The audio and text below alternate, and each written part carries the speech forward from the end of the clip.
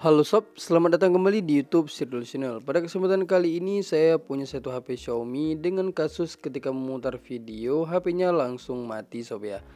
Supaya lebih jelas, coba saya putarkan salah satu video yang ada di galeri sob ya. Kita coba buka video yang ini.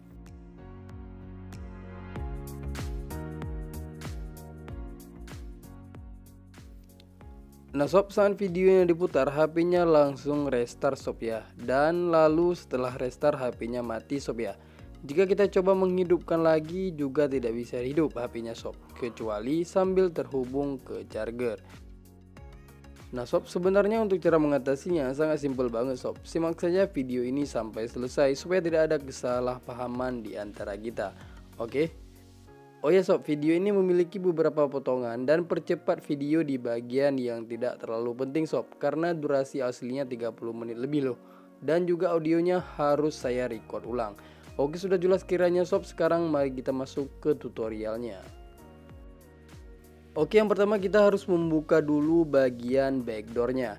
Hati-hati saat melepaskan backdoor untuk HP yang ada fingerprintnya sob ya. Karena flexible fingerprint mudah banget putus sob karena di sini HP yang saya pakai untuk tutorial yaitu HP Redmi Note 8, maka saya tidak bisa melepaskan fingerprint sebelum kita lepaskan dulu seng penutupnya. Untuk melepaskan seng penutup maka kita harus melepaskan dulu semua baut-bautnya sob.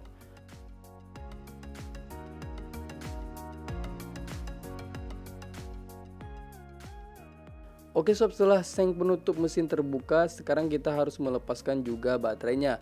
Untuk sebagian HP Android bisa dengan tidak mencabut baterainya jika bagian fuse-nya bisa diakses dari depan. Untuk lebih aman kita bisa pisahkan saja baterainya dengan mesinnya sob ya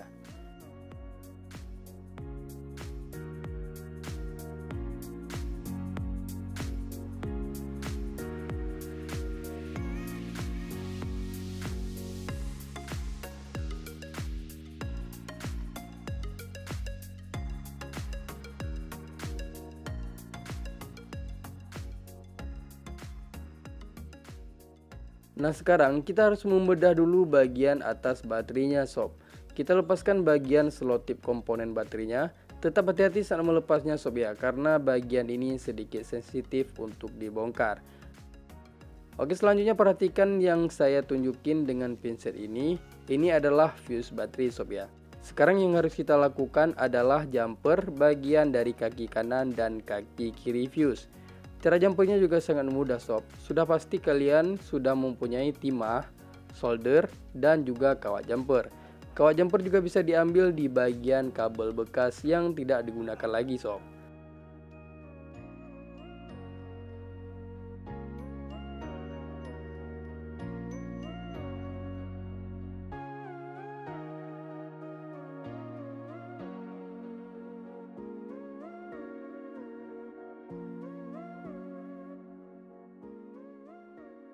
Oke sob setelah berhasil kita jumper bagian fuse-nya Sekarang kita bisa memasang kembali tutup komponen baterai yang kita copot tadi Langsung saja kita pasangkan kembali baterainya ke HP-nya sob ya Sekarang coba kita hidupkan HP-nya sob ya jika tanpa menghubungkan ke charger HP-nya sudah hidup, berarti sudah pasti video juga sudah bisa kita putar kembali sob ya.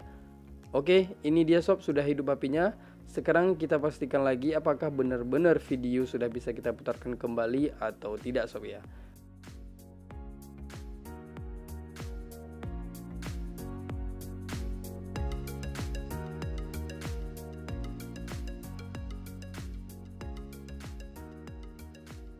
Oke sob, tentu saja sudah bisa sob ya untuk memutar kembali videonya.